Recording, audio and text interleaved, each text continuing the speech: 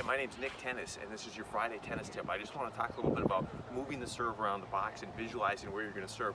Now, I'm about to serve to my opponent. I don't want to just toss it up and hit it anywhere. I want to actually pick where I'm serving. So right now, I'm going to go a kick serve out wide to his backhand. Let's see how it goes.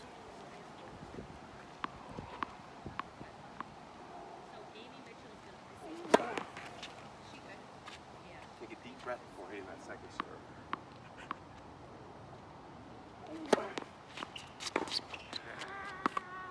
So I was able to generate the air, and now I'm going to try a slice out wide. Try to get a slider to his forehand.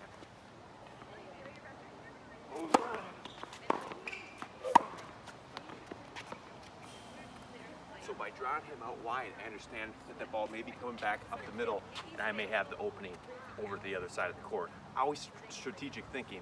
This is chess, not checkers. Hope you have a great weekend.